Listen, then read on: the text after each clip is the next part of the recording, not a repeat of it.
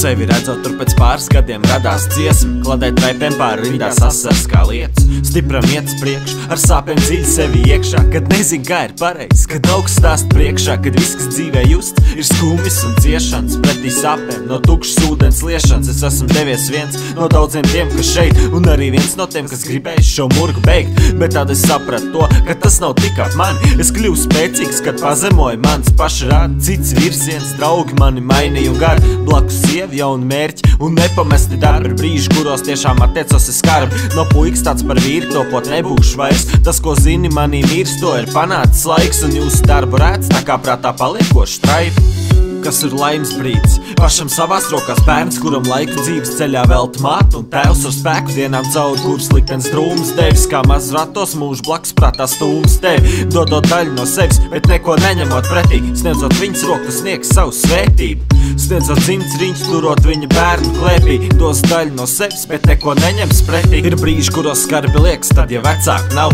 pāris zied gadā, kurus noliec tūs kā pa malas, neaizvietos tos, kas paši pamet atvas savu, jo nav nekā ko nolikt, nav pat kapa malas. Tas pats ir ģimenēs, kas zaudē savus bērnus, kaut dziļi sirdī sāp. Tu neredz viņas sērs, ir tikai strīdi, atkarības un rēts, fizisks vai morāls, bez iemesla vai grēka pilnu bērnu nam. Uz ielām nelaimīgas būtnes, kas dien dienā piesauc dievu Un viņas sūtnes man ir apnicis to redzēt. Un zemapziņā lūgt, lai ir miers par pasauli Un neviltots rūps, es zinu, kā tas ir Es esmu šeit, jo bija grūti. Kaut dēļ tiltā izlūz, es šķērsoju. Es zinu, kā tu vari, jo tas ir tā kā skūpstīt grupi Kad neglītais top skaists, lai dzīve kļūtu super Kas ir laimes brīdis Pašam savās rokās bērns, kuram laiku dzīves ceļā velt māt Un tēvs ar spēku dienām cauri, kuras liktenis drūmas devis Kā maz ratos tos mūžu blakus prātā stūmas tevi, dodot daļu no sevis, bet neko neņemot pretī. Sniedzot viņas roku, sniegs savu svētību. Sniedzot dzimts riņķus, turot viņa bērnu klēpī, dos daļu no sevis, bet neko neņems pretī.